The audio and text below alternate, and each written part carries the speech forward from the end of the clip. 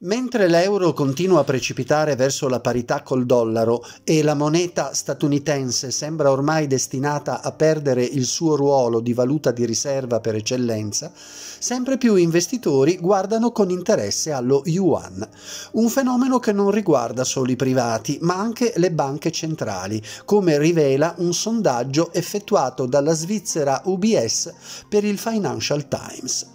Dalla ricerca emerge che l'85% dei gestori di questi fondi o sta già facendo affidamento sulla moneta cinese o si sta comunque apprestando a compiere questo passo e a farne le spese ovviamente sarà il dollaro americano.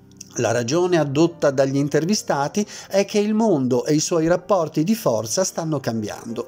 Il sistema unipolare che finora si è retto sul dollaro si sta infatti sgretolando sotto i colpi delle sanzioni occidentali contro la Russia. E mentre il rublo vola a livelli che non toccava da quasi cinque anni, l'inflazione statunitense sta rafforzando anche lo yuan, moneta che ormai viene usata anche in transazioni commerciali fra paesi terzi. Le riserve della valuta del gigante asiatico stanno già aumentando nei forzieri virtuali di mezzo mondo, dal Brasile a Israele passando per la Russia. A scendere invece è proprio il dollaro, che non sparirà da un giorno all'altro, ma si vedrà comunque costretto a fare i conti con monete concorrenti.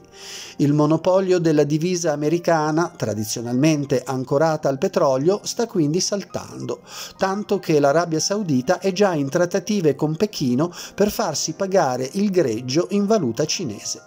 La dedollarizzazione del pianeta è quindi già iniziata e va di pari passo con la fine della globalizzazione e con l'instaurarsi di un nuovo ordine geopolitico, innescato dal rifiuto di Mosca di continuare ad abbassare la testa di fronte a Washington.